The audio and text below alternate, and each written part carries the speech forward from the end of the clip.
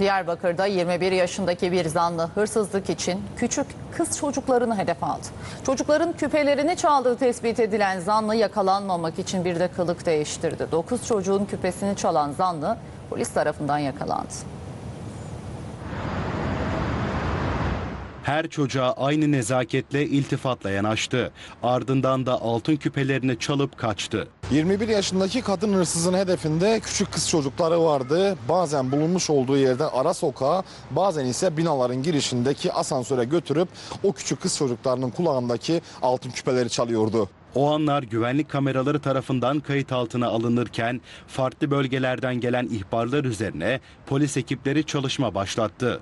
Hırsızlığa kurban giden 9 çocuk pedagog eşliğinde dinlendi. Kulaklarındaki küpeleri çalınan küçük kız çocukları durumu ailelerine, aileler ise polise bildirdi. Asayiş Şube Müdürlüğü'ne bağlı ekipler o binaların giriş ve çıkışlarındaki kameraları incelemeye aldı.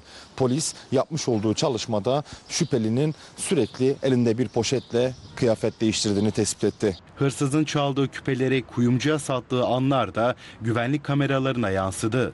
Dış görünüşünü değiştiren hırsız yakalanarak Diyarbakır polisince gözaltına alındı. Emniyetteki işlemler sonrası adliyeye sevk edilen zanlı çıkarıldığı mahkemece tutuklandı.